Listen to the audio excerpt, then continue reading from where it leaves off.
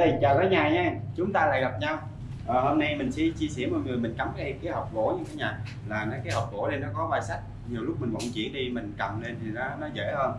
Rồi cái cái form này mình cũng ngâm lại. Rồi xong mình lấy ví dụ như lấy cái cái giấy kiến á, mình bọc ở dưới đi cho nó giữ nước lại. Còn hai cái cây đây mình lấy kim á, mình bấm nó lại. Nha. Rồi cho nó gia cố mình thấy lát nó nó cứng không rồi mình mới cắm được. Thôi bây giờ mình cắm luôn nha cả nhà đó mình dai tốt cái cục con mình ngâm nước cho nó đều hết. Đây đây là lá thị trúc mình chuẩn bị cho mình khoảng nửa bó đi nửa bó nha cả nhà. Hôm nay mình đi cắm uh, lá thị trúc mình cắm cao lên mình vẫn để cái lá đây luôn.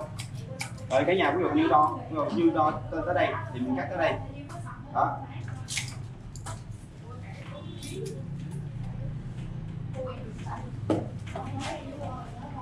Trái nhà chu vi thì cắm một cây thôi. Nếu cắm hai cây thì nó không có cứng được. Đó cây mình cắm cho nó đều hết luôn.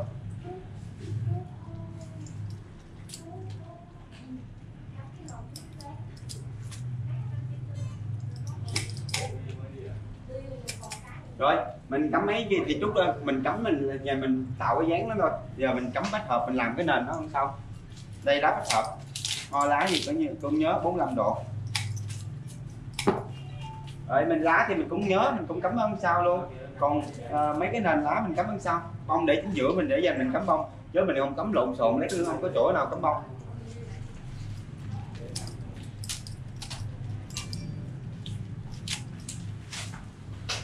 Rồi bách hợp đây mình chuẩn bị cho mình còn hai ba lá hoặc là có cắm không có thôi. Khỏi không được khỏi cắm nền sao không được. Rồi lá đây ngày nào cũng cắm. Lá nghiệt quế nha cả nhà.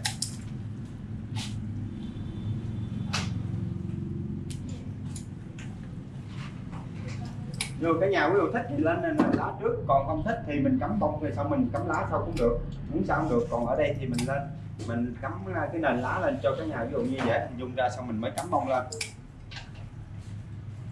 Ở mình cắm tùy theo cái hộp, nó, nếu mà to thì mình cắm cái nền lá cho nó to, nó hợp với cái bố cục. Còn ví dụ như cái hộp mà nó nó nó nhỏ, nó to mà mình cắm cái lá, cái nền lá nó nhỏ thì nó sẽ không không có hợp. Đó, mình phải cân đối cái hộp với lại, mình cân cái đối cái hộp.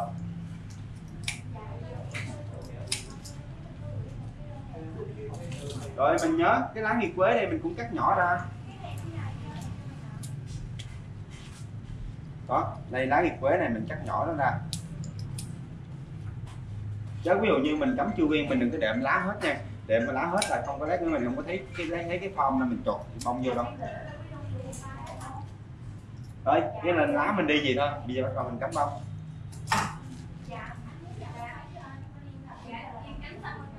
Đây là ho đây là ho thiên điểu. Đây là thiên điểu. Cả nhà muốn cho nó nở, thì mình phải tách nó ra nha. Đó, mình phải tách nó ra như này. Đó, để nó mới nó mới nở ra. Đó. Rồi, thiên điểu đây, mình cái chuẩn bị cho mình con dao đây, mình cũng gọt rồi. Gọt xéo gót rồi, cho nó cắm, cho nó cao ra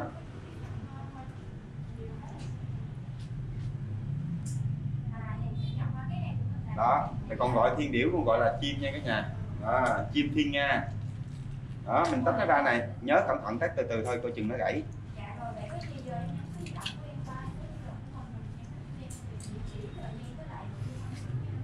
Đấy, mình chuẩn bị cho mình khoảng 3 đến à, 3 đến 5 con đi thiên điểu thôi.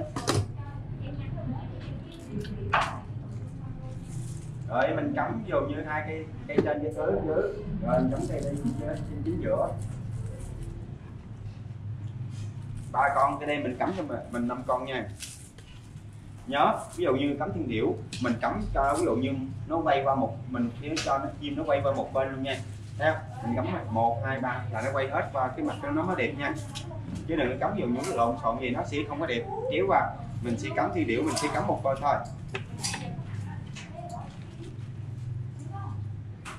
Đấy cái đây mình chuẩn bị cho mình năm con nha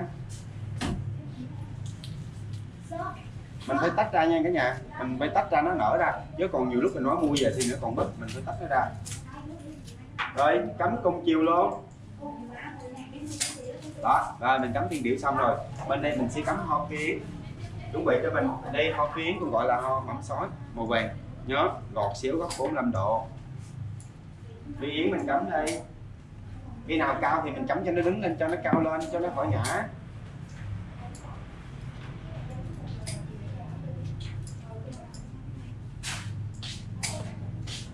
đổ tiền đi.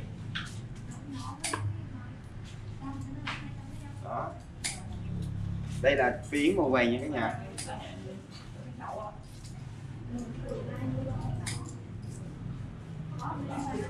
Rồi phi yến mình cắm ở bên phi yến mình cắm ở bên đi tay phải.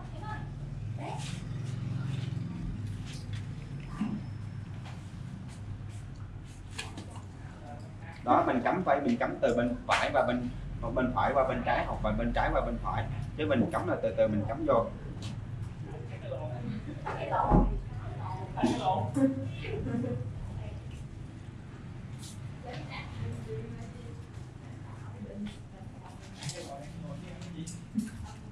Đó mình cắm phi yến lên đây.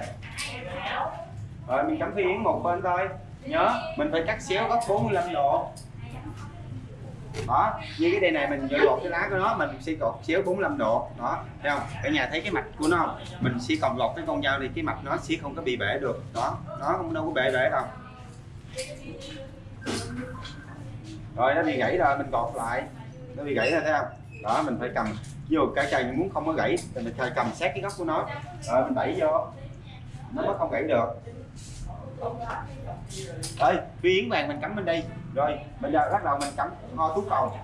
Chuẩn bị cho mình cái đen ho tú cầu. Ví dụ như cả nhà mà muốn ho tú cầu nó bền là cả nhà phải thứ nhất á, là mình mua về mình phải cho nó uống nước trước đi rồi xong mình mới cắm.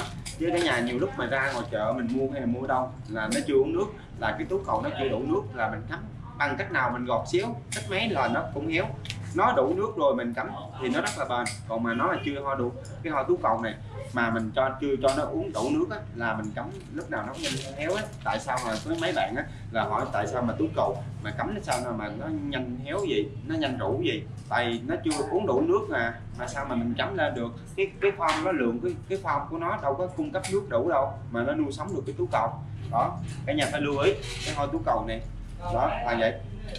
Rồi hoa túi cầu đây mình để mình nhớ cột xíu mình tú cầu đây mình phải gọt kỹ nha. Cái tú cầu này nó nhanh héo lắm. Mình phải cho nó uống đầy nước mà mình phải cái gọt cho nó nó nó gọt hai ba mạch nước luôn. Cái tú cầu nó mới đủ nước nó nuôi được cái hoa tú cầu. Hoa tú cầu đây mình cắm chính giữa. Rồi chuẩn bị cho mình hai con thôi. Chứ không phải là tú cầu là mình cắm nhiều lúc. Mình à, à, tú cầu quá mình phải đó mình phải vuốt xéo góc rồi, mình cắm xéo lúc bên đây, mình cắm chính giữa túi cầu, cắm giữa hai cong đây. Đó, trong hai túi cầu. Rồi, bên đây mình sẽ cắm mocha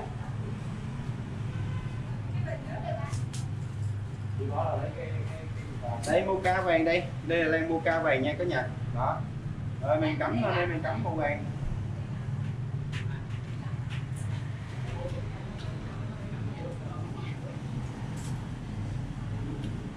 Nhớ xéo góc ra.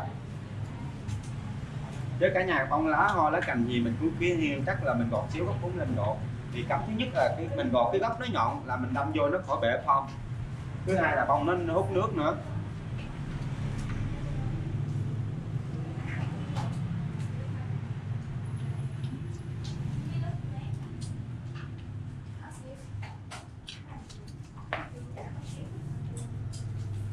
Rồi cái đây mình cắm bên đây mocha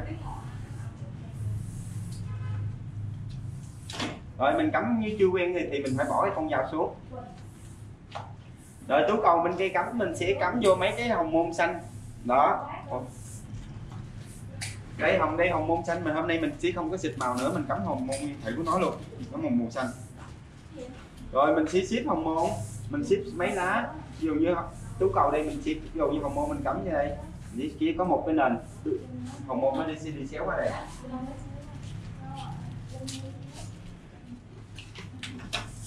Rồi, mình sẽ xếp vô, mình sẽ xếp hai hồng môn sẽ xét xét vô như thế nhà. Đó. Hồng môn chỉ nó đi xéo qua một đường nha.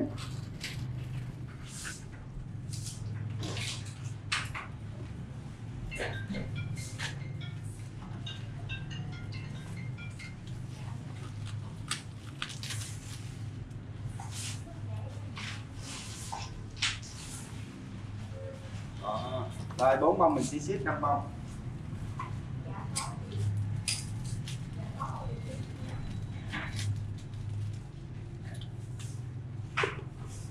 Đó, mình xiết xiết cái cái hồng môn đây mình xiết xiết xéo nó vậy. Rồi, bắt đầu mình đi qua bên đây, thì mình cắm. Rồi, bên đây nếu mà còn phi yến thì mình cắm phi yến. Còn ví dụ như cả nhà không có, thì mình sẽ cắm, đây mình sẽ cắm lan phụ nữ lên nha cả nhà. Lan lan phụ nữ, mình sẽ cắm mấy thành lan phụ nữ lên.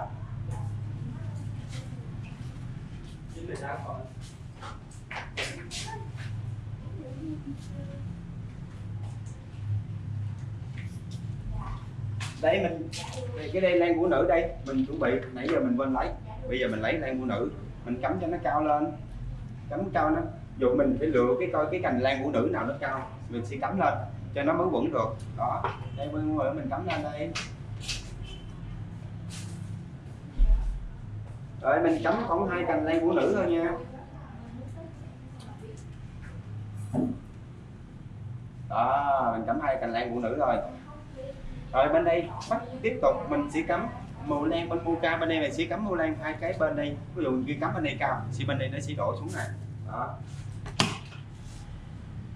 Đấy mình biết gì thì chia sẻ cái nhà đó thôi. Hôm nay cắm lan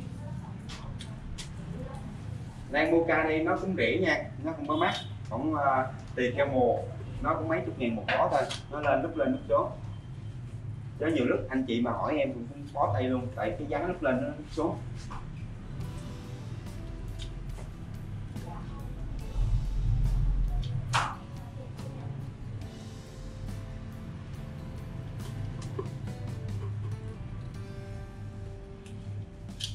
Đó lan ơi mình cắm nó còn đầy thấy không? Cả nhà còn còn thiếu bên đây nữa mình sẽ, ví dụ như cái đây ở đây mình sẽ cắm hoa hướng dương hoặc là hoa hồng vàng đồ. Đó, mình cắm vô chính giữa đây.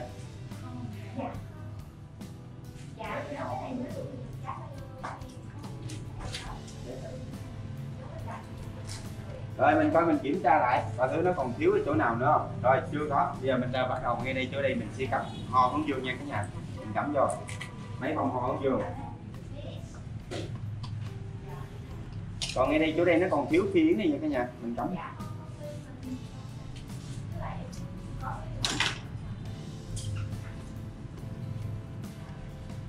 Đấy, chuẩn bị cho mình năm đây năm bông hướng dương.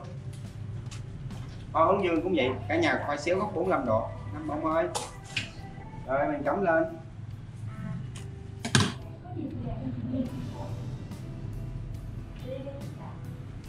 Nhớ xéo góc 45 độ